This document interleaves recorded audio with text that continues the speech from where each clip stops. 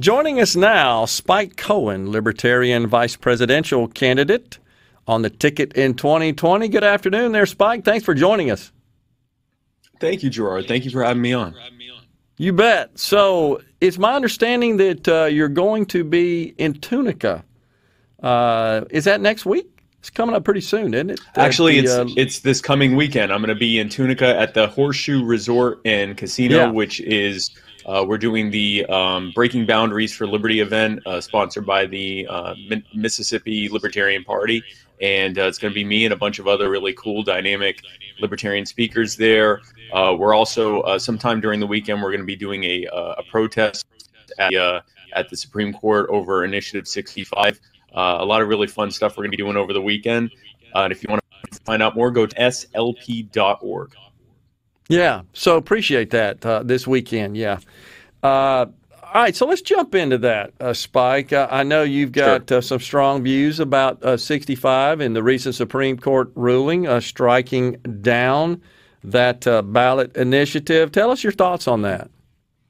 Well, the problem is it didn't just strike down the ballot initiative. It it struck down all ballot initiatives until the legislature moves forward on changing the wording of the of how the law is written. The, the problem here is the people of Mississippi by a 74% margin. 74% of Mississippi people said that people who have child epilepsy, who have glaucoma, who have other ailments, that cannabis is the only effective and safe uh, treatment for their illness, that they should be able to get that legally. The Supreme Court said not only is that not going to happen, but they looked at what should have been a common sense fix, which is, you know, it, for those who don't know what the actual decision was, they decided that because the way that it was written, it said that there had to be a certain number of votes, certain percentage of votes in all five congressional districts in Mississippi. Now that there are only four congressional districts, that that means that there can't be any uh, initiatives because there aren't enough congressional districts it's as though the role of the judiciary is to apply the intent of the people who made the legislation in determining how it should be applied. So unless they have actual wording from the people that wrote it that said we only want Mississippi to have the ability to have um, initiatives uh, on the ballot if you have five congressional districts, no more, no less, then there was no reason for them not to simply say, okay, what they meant was all of the congressional districts. There are only four of them. This met that uh, criteria. We're going to allow it to stand, and we're going to allow initiatives to continue. Instead, by making this decision, not only have they robbed Mississippians who need these treatments to be able to survive, but they've also robbed the entire state of Mississippi of the ability to be able to affect legislation through the initiative process. Yeah, and it's uh, you, you, described it, uh, I believe, accurately, and it's something we've broken down and discussed, as you can imagine, extensively uh, on the program. Right. So, what would you like to see happen here in Mississippi with respect to that? Do, do you support that the governor should call a special session to f- fix the initiative process, uh, perhaps get a medical marijuana uh, bill passed and enacted, or should they wait and sort this out in the next session, which would uh, uh convene in 2022, early 2022. How, what would you I think like considering the fact, yeah, I think especially considering the fact that this was overwhelmingly passed, and this is a the initiative thing. It's not going to matter again until next election cycle. Uh, but the sooner it's dealt with, the better. I think a special session to simply pass a clean uh, uh, initiative, uh, something, it changed amendment to the initiative uh, legislation so that it just says all of the uh, congressional districts instead of five or having any static number on it so that this doesn't happen yeah. again in the future. Uh, but also just a clean medical uh, cannabis bill. I mean, the, the Libertarian Party recommends ending the war on drugs because we want to end the cartels, we want to end the drug gang violence, we want to end the corruption of, of uh, government and police departments that comes from the war on drugs, which was the same thing that happened during alcohol prohibition. But at the very least, the people voted for medical cannabis. They should get medical cannabis. Yeah. So do you do you think the Supreme Court got it wrong? I mean, are, are you not happy about the Supreme Court's decision, and do you place the blame on them for Mississippi not having a medical marijuana program? Well, it, the blame is on them for them not having a, a program. I, I, will say this this wasn't judicial activism. This was a bad interpretation, in my mind, anyway. Maybe maybe they had activist reasons behind it. Maybe they were against medical cannabis, but they didn't step in and go, "Well, we don't like medical cannabis, so therefore you're not going to have it." What they did was they they, like I said, the the problem is they're applying a they're they're looking at a decision and their job is to decide what the intent was behind the legislation and for some reason, they determined that the people who wrote this uh, uh, ballot initiative or wrote this legislation, this constitutional amendment back in, I think, what was it, 92 or something like that, that clearly mm-hmm. they only wanted the people of Mississippi to be able to vote on this if there was exactly five congressional districts in Mississippi, no more, no less, even though that, that number is constantly in flux in every state. Um, and based on that, they said, okay, so then there can't be any initiatives.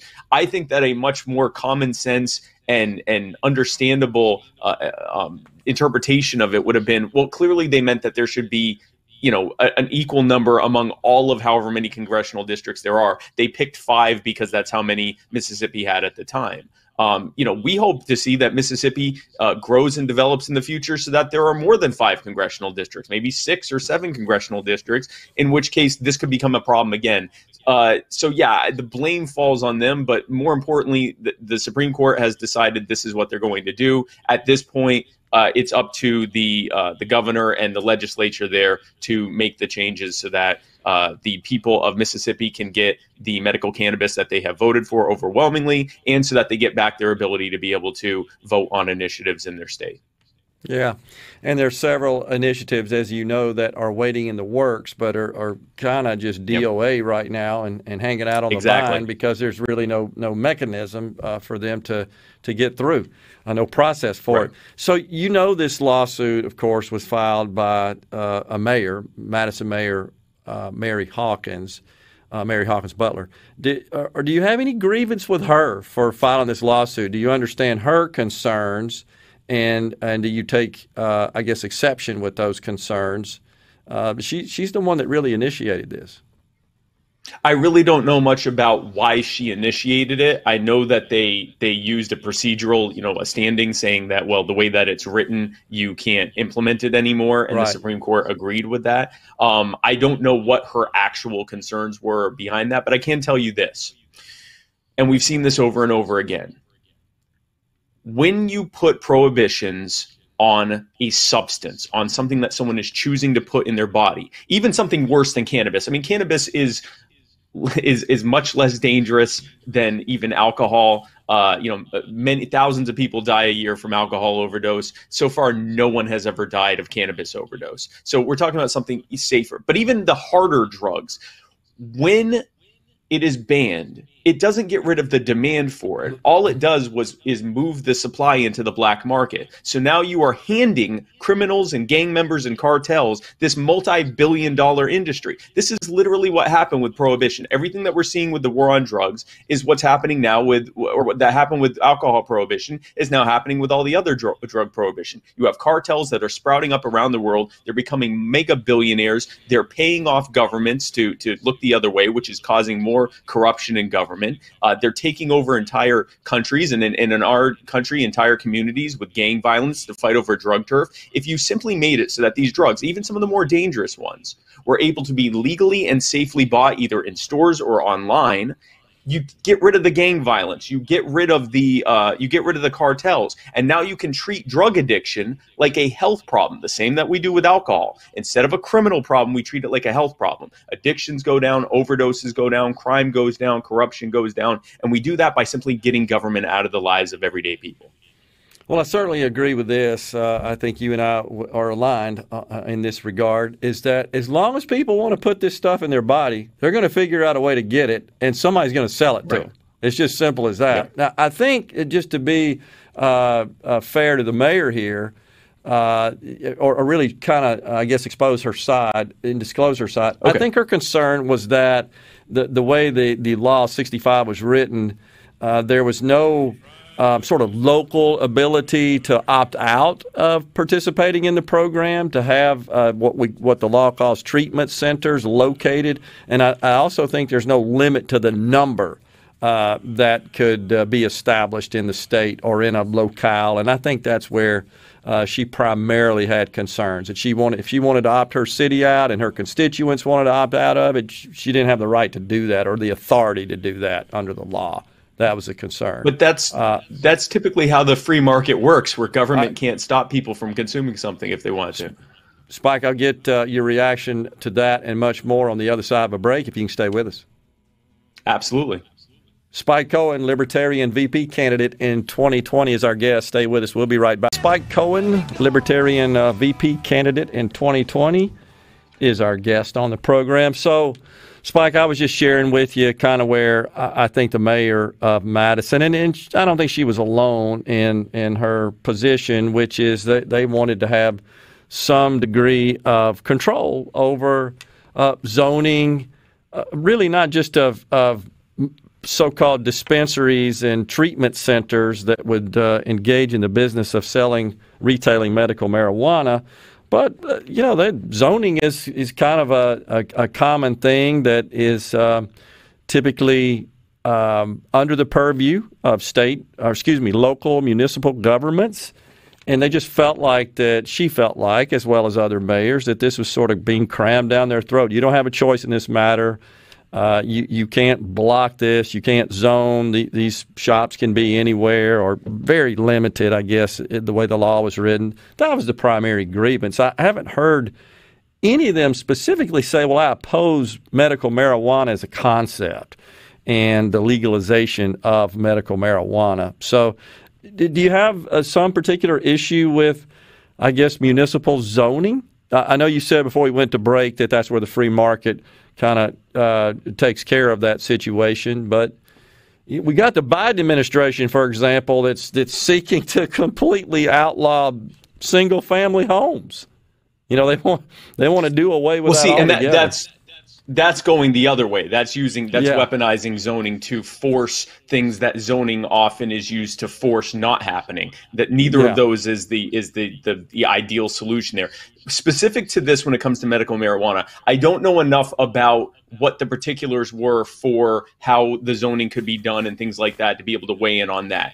In general, I would imagine though, if it is if it is a zone for commercial use, uh, or for uh, medical use. And again, I'm not sure how your zoning works in Mississippi if you actually have specific zoning for uh, medical applications or if it just falls under general commercial. But if it's basically if it were zoned the same where you could have a physical therapy center or a doctor's office or any other kind of medical thing, or for that matter, any other kind of commercial thing, I, I don't see why having a dispensary uh, or a treatment center uh, would be an issue. Again, this isn't you know um, this isn't uh, some you know like a, a crack house or something like that. This is cannabis to be used to treat children that have epilepsy or to treat people who have glaucoma or to treat people uh, who are having severe side effects from chemotherapy and aren't able to eat. Uh, it's medicine.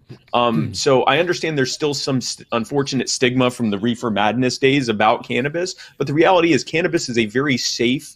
Uh, uh drug that can can be used recreationally, but can also just be used uh, medically. And, and to give a little bit of background about myself, I've been sober for 15 years. Um, and I don't think getting intoxicated on anything, even alcohol, is a good idea. I don't even drink coffee or, or, or sodas. Uh, I live a very, very, very clean lifestyle.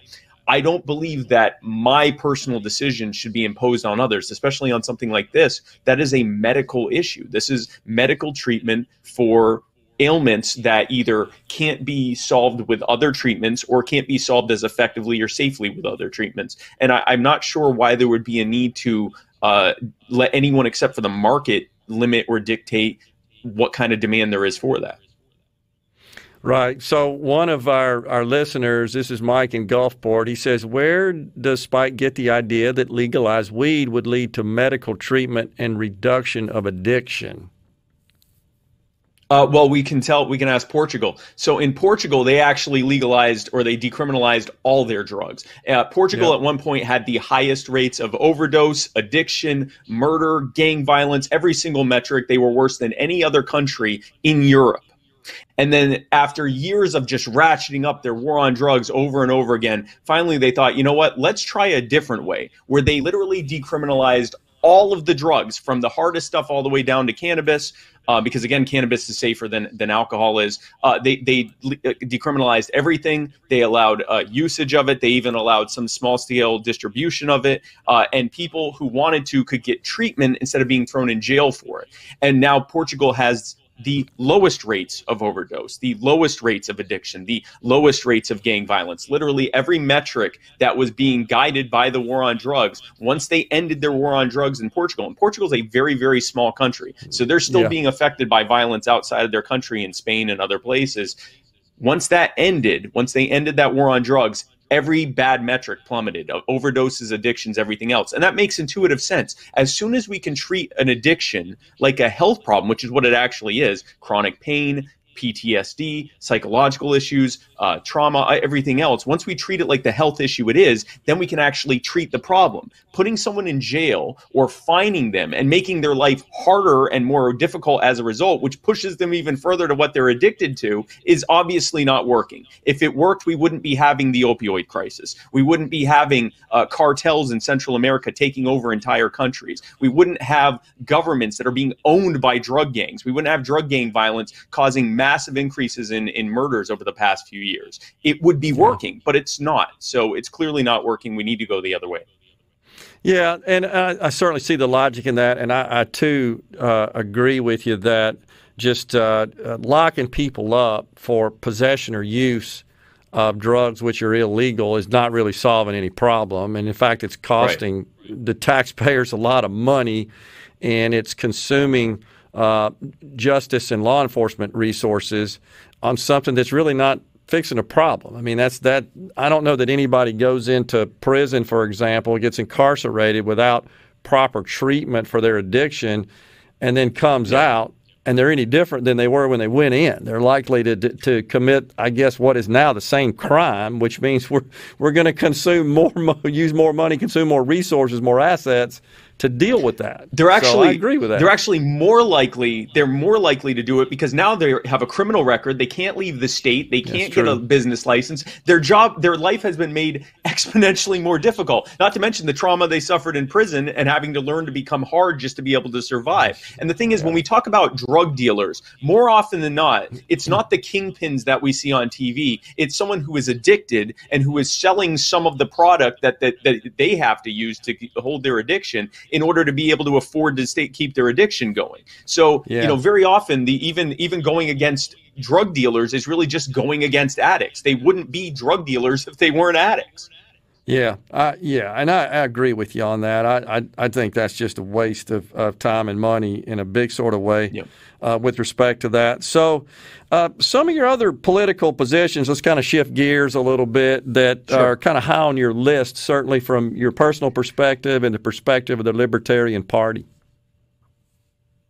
Oh, uh, there's quite a few of them. Uh, I think right now we need to make sure that these ridiculous lockdowns or anything like it never happens again.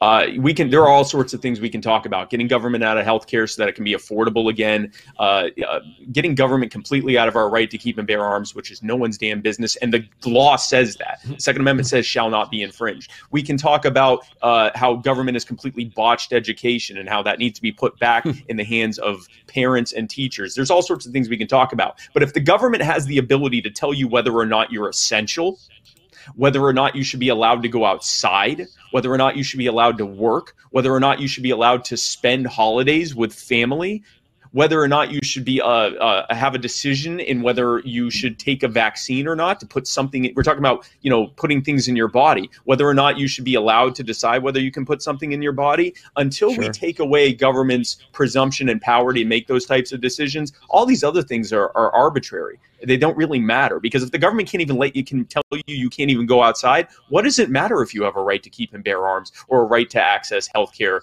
uh, more more uh, affordably you know none of those yeah. things matter if the government is literally standing over you saying no you can't go outside it's an emergency it's a health emergency. And so I think right now, that's probably, I would say, the, the biggest focus that anyone who prizes liberty and freedom or really just uh, prizes the ability to be able to thrive and live your life. Um, we need to make it very clear that under no pretext should government have the ability to tell people that they can't go outside. That's that's unacceptable. if there were a virus that were so dangerous that it was a risk for anyone to even go outside, no one would have to tell us this. We wouldn't right. go outside. And as someone who went to, in the last year, I've been to over 40 states. I've come well within six feet of tens of thousands of people at well over close to 200 events. I've been on something like 200 airline flights. I've never caught COVID. I've been able to stay safe the whole time by washing and sanitizing my hands regularly. I don't touch my face unless my hands are clean. I don't get in every single person's face that I meet. I don't eat or drink after people. I used basic health and safety precautions, and I was able to stay clean the whole time.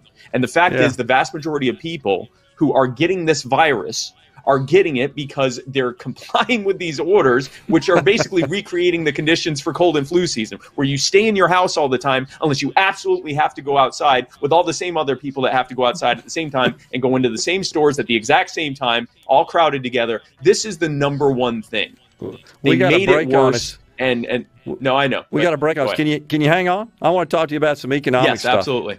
We got Spike yes, Cohen, absolutely. Libertarian VP candidate in 2020. Stay with us. We'll be right back. Into this segment, Spike Cohen, Libertarian Vice Presidential candidate in 2020, is our guest. So, with respect to a medical marijuana program, one of the objections, Spike, that folks who did not support 65, Initiative 65, was that mm-hmm. none of the taxes levied on the sale or really throughout the supply chain of, of medical marijuana flowed to the state. Those, those, those receipts uh, those those fees collected, if you will, were designed to fund the operation of the program through what the bill uh, dictated would be the Department of Health, Mississippi Department of Health. There, so no money flowed into the general fund, if you will, as a result of that. Where do you stand on taxation? Of, of medical marijuana, and I, will I'll kind of give you my take on it at first. Uh, first, okay. I should say, which is if if you if you tax it at too high a rate, which is really what we've been seeing in California, I believe, so based on some reports I've read, is that the black market yep. continues to thrive. People just say, "Well, I ain't going to go pay the high taxes uh, to uh, um, buy my my pot, my my weed uh, through the legal means. I'm just going to go to the black market. It's still alive and well, where I don't have that taxation going on."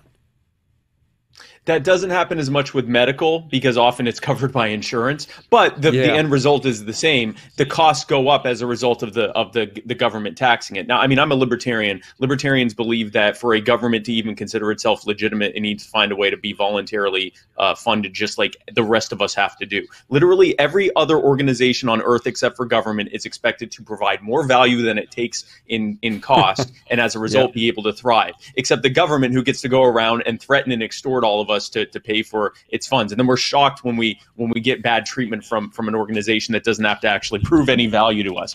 Putting that uh, philosophical and, and macroeconomics argument aside, um, like I said, again, I don't I don't know enough about the specifics about how the funding happens on this bill uh, to yeah. be able to to weigh in on that. But I would say in general, uh, the idea of taxing something so high that a black market is still preferable, which, like you said, we have seen in places like California. We've seen where in places like Illinois. is legal, by the way, in California, where recreational is legal. Yeah. Where recreational is legal. Now, contrasting that in Oklahoma, where the taxes are very low, uh, we see a thriving legal cannabis market there, and the black market it's almost completely destroyed for cannabis. Um, yeah. So, yeah, no, the taxes need to be as low as possible for it, and, and especially for a medical thing why are you taxing medicine? This is something that people absolutely need, in some cases, to be able to survive. Why is the government taking their cut from that? Bad enough they're taking it from your income and your property and you know the food that you buy and everything. Why are they taking it from medicine? Why is government taxing sometimes at 40, 50, 60% the cost of the things that you need to not die? Yeah. Yeah, so uh, just to, to uh, let you know, in Mississippi, as a matter of fact, prescriptions are not subject to sales taxes, but medical marijuana uh, in accordance with 65 is actually is actually subject to a, a, fee, if you will, that is equal to our sales tax rate, but that money is is designated to cover the cost of operating the program because there clearly there, there's some cost of to, uh, of operations, as opposed to going into the general fund, which is where sales taxes in Mississippi right. go now, and then some of that, of course, is diverted back out uh, at the municipal level. Uh, but it's just my concern is that everybody says, well, let's just tax the ever loving snot out of it. Well, okay, well then you're going to have a thriving black market, and you, right, you know you exactly. make a point that in, insurance would cover it, so maybe not as much in medical marijuana. But even if insurance covers covers it, well then our insurance rates go up. Uh, so exactly have that effect as well. Include and it, and that means it goes up because it's a pooled rate. It's going up for people who aren't using right. medical cannabis That's as right. well as people that are using medical cannabis. That's not fair to anyone. Why not instead say why does the government need to be in charge of implementing this? I mean, w- yeah. weed has been for sale very actively and has not even had to have advertisement for it without any government involvement. In fact, even with the government saying you'll go to jail if you use it, weed is incredibly popular. So there's no right. reason to think that government needs to manage medical cannabis. Get rid of the fee, just let the market handle it. Let providers provide the service and the and, and the the product here, in this case the, the medical cannabis, and keep government out of it. Why why is the hmm. taxpayer having to pay for any of this. Yeah, I and yeah, so I, I just think there's it's it's a balance there that's got to be struck. But while we're talking about taxes, are are you familiar with the tax reform legislation that is being promoted and championed by our Speaker of the House, Philip Gunn, which uh, seeks to phase out our income taxes here in Mississippi over a period of time based on achieving certain certain metrics, certain triggers. Uh, but it does, in fact, slightly raise sales tax on some items, but on food, it actually reduces it. Uh, what's kind of your feeling about income taxes, consumption taxes, and, and again, if you're familiar with this particular bill, uh, your thoughts on that?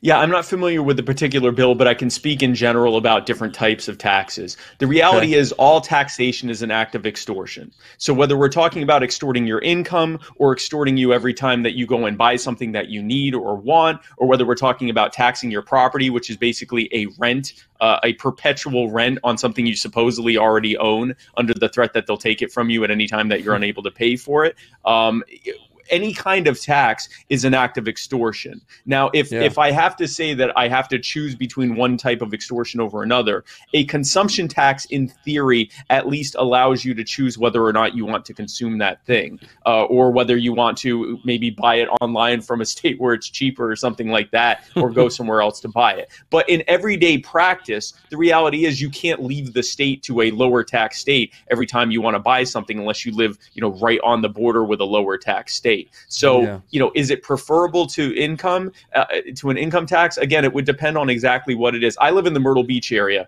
where we have very very low taxes on everything except for our sales tax, which is through the roof because we're largely unloading our cost on tourists that come here. But even I then, when I go to buy something, when I go to, you know, go to, uh, you know, uh, go to a, a theater or go to a show or you know buy something at the store or whatever else i'm yeah. still paying that rate as well so I, I don't see any reason why government shouldn't be made to do what literally everyone else has to do come up yeah. with voluntary funding to be able to fund the things that they're saying that we need which forces them to live within their means and then you got the other extreme. You got Liz Warren and, and the far left wing of the Democrat Party who are championing uh, taxation of unrecognized gains on, on your assets, on so called wealth tax. Yes.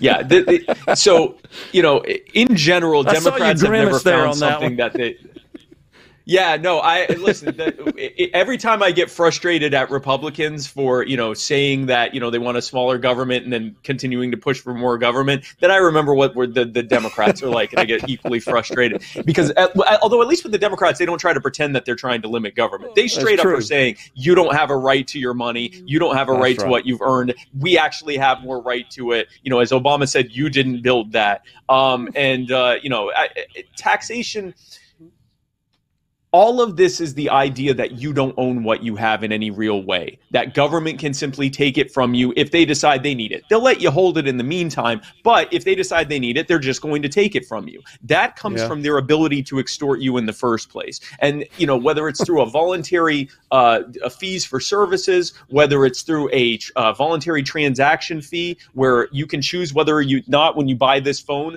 whether or not you want to pay the 5 or 10% fee to get protection on it in case something something happens from government, uh, there needs to be a way for government to voluntarily be funded. And by doing that, that ends all the other problems we see in government because everything that government does, every abuse they have stems from the fact that they ultimately aren't held accountable because they can just keep taking money from you. They don't have to prove that they're providing you any real value. So we need to look at voluntarily funded government, which would in- inevitably inevitably and necessarily be a much smaller government who is only doing what it really should be doing in the first place, which is protecting your life, your rights and your property. And that's it they're not good at anything else. They're not even all that good at that, but they're definitely not good at anything else. Yeah, you know, I I, I got to say it to a great extent, I'm in line with you on that. Raising taxes and giving away that money, just filtering, giving away, that's easy. Creating value, that's hard. That, that exactly. requires creativity and innovation. That's what we had to do in the private sector, or you fail. Yep. You go yep. bankrupt because uh, the market dictates exactly. that, determines that, and and government doesn't have that fear. I mean, they don't go to bed at night thinking, "How am I going to make payroll?" They don't have to worry about that. Exactly. So exactly. they just wake up and saying, then we see how they what? use I it. could get elected. Exactly. Let me see. And I then we see how they use it. They turn around. Last year we saw the largest transfer of wealth from those with the least to those with the yep. most. Trillions of dollars in debt yep. that we'll have to pay off for the next 40 years because they could. I agree. I totally agree. Spike, it's been a pleasure having you. Really enjoyed the discussion. Uh, thanks so much for coming on the show, and we'll talk soon. Good luck to you, my friend. Thank you. Join me in Tunica this weekend, mslp.org. Spike Cohen, Libertarian Vice Presidential candidate in 2020, has been our guest on the JT Show.